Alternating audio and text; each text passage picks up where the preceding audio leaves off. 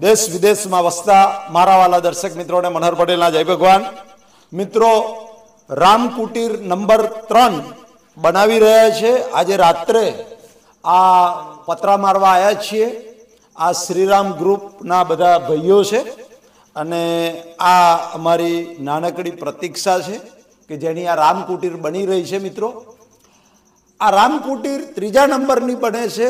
મિત્રો, દેશ વિદેશના દાતાઓએ મનહરભાઈ ઉપર ભરોસો મૂકી, વિશ્વાસ મૂકી અને જે કંઈ પોતાની યથાશક્તિ, જે કંઈ દાન આપ્યું છે, એ દાન તમે જોઈ રહ્યા છો કે દાન આજે તમારું દાન સોળે કલાએ ખીલી ઉઠ્યું છે.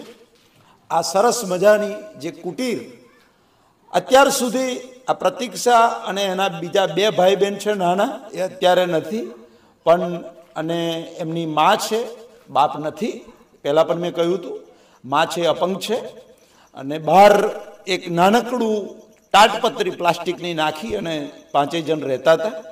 આ સરસ મજાની રામકુટીર થઈ, તૈયાર થઈ ગઈ છે. આ અમારા શ્રીરામ હેલ્પ કે જે રાત દિવસ મહેનત કરી અને કામ કરી અને અત્યારે આ પતરા લગાવવા આવ્યા છીએ, રાતના દસ વાગ્યા છે. આ પતરા લાગી ગયા છે મિત્રો.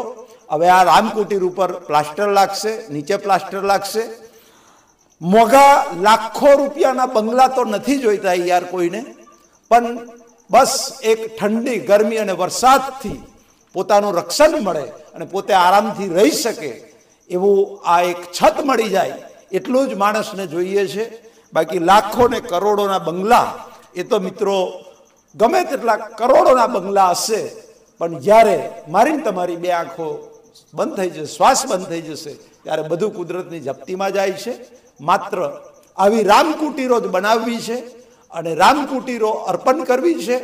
ફરી મારા જે દાતાઓએ આ રામકુટીરોમાં દાન આપ્યું છે, એ બધાને પરમપિતા પરમાત્મા લાંબુ નિરોગી આયુષ્ય આપે અને પરમાત્મા એમના લક્ષ્મીના ભંડાર સદા ભરેલા રાખે એવા મારા ભગવાનને હૃદયથી પ્રાર્થના છે ભગવાનને, મારા પણ અંતરથી આશીર્વાદ છે કે આપ આ પરમ સેવાના કામમાં એક જીવતા ભગવાન જે છે, મિત્રો મંદિરના ભગવાન એ તો શ્રદ્ધાના ભગવાન છે, આ મારી પ્રતીક્ષા જે છે નાનકડી, એ નાનકડી પ્રતીક્ષા ચોમાસાની અંદર વરસાદ પડે તો સાહેબ બેસી રહેવું પડે, કારણ કે ઉપર નાનકડું પ્લાસ્ટિક હોય અને વરસાદ પડે વરસાદમાં પલળી જાય તો ચારેય ભાઈ બહેન એક ઠૂઠિયું વારી અને આખી રાત ઠંડીમાં ઠૂઠવાતા પડી રહેતા હતા.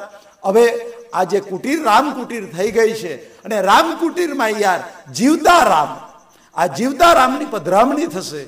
આ પ્રતિક્ષાની અંદર જે ગીતામાં ભગવાન કે મમે વાંશો જીવ કે જીવ જીવ માત્રની અંદર ભગવાન કે હું રહેલો છું.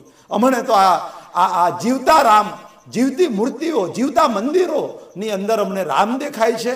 અને એ રામને રહેવા માટેની રામકુટીરો તૈયાર કરવાની મુહિમ. મિત્રો, અમે તો એ કુદરતનો, મનહરભાઈ તો એ કુદરતનો ટપાલી છે.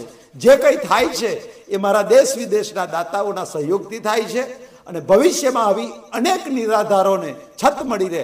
ભવિષ્યમાં આવી રામકુટીરો થાય, એ માટે બધા જ મારા દર્શકો સહકાર આપતા રહેજો. ફરીથી મારા બધા જ દાતાઓ દેશ વિદેશના બધા જ દાતાઓને એમના લક્ષ્મીના ભંડાર સદા પરમાત્મા ભરેલા રાખે, લાંબુ નિરોગી આયુષ્ય મળે, એવી હૃદયથી મારી પ્રાર્થના, મનર પટેલના, જય ભારત, જય હિન્દ, જય ગુજરાત.